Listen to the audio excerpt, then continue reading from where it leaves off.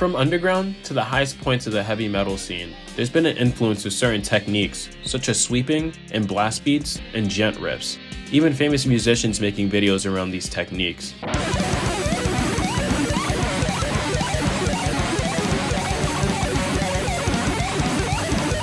But from a musician's perspective, sometimes it's the most satisfying and fun thing to do on our instrument. But the constant solos and djent rips over hammer blasts could eventually sound like noise. But I think it's really how you do it.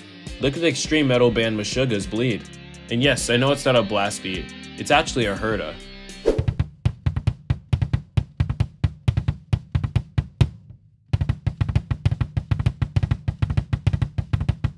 Could it be possible musicians are worried about their songs being more technical than pleasing to the ear? What I'm trying to say is, you can make extreme metal, just try to find a way to be different.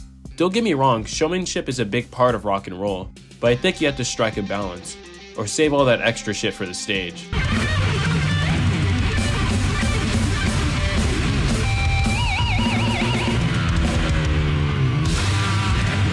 At the end of the day, you're supposed to have fun, and doing those techniques are fun. Really, it's up to you.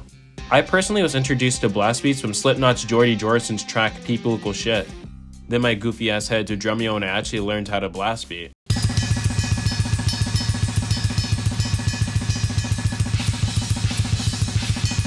What do you guys think? Are certain techniques overused nowadays in current music?